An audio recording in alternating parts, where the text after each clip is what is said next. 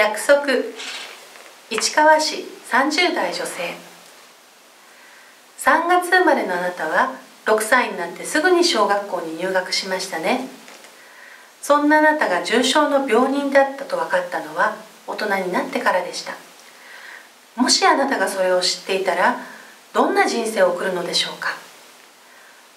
写真の中のセーラー服のあなたはとっても笑っています。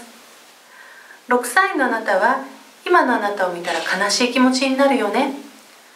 だからそんなあなたに手紙を送ります。もう一度笑おう。あなたをきっと幸せにするから。化学物質過敏症。